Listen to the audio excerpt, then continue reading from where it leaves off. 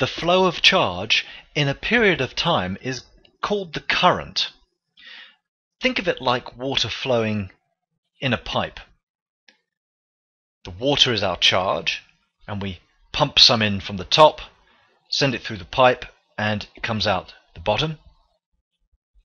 And the number of liters of water flowing by per second, that would be our current. Current of water in this case. So liters flowing per second. It's a measure of how quickly the water is flowing in the pipe.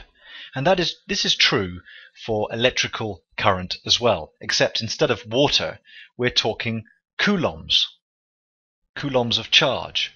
So current in electrical terms is how many coulombs, those are those bags of charge, six million, million, million charges, positive charges, how many coulombs are flowing per second. And this is summed up with the equation which I like to call quit.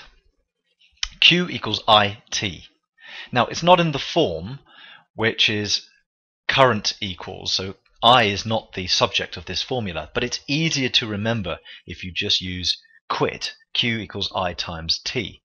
So what are these letters, symbols? Well, Q is the charge.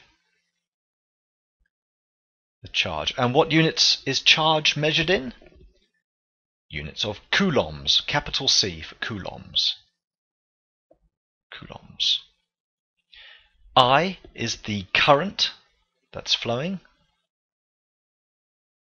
And the unit of I, or the current, is the ampere, or the amp. In amps. T is the time. And we always use standard unit of seconds for time.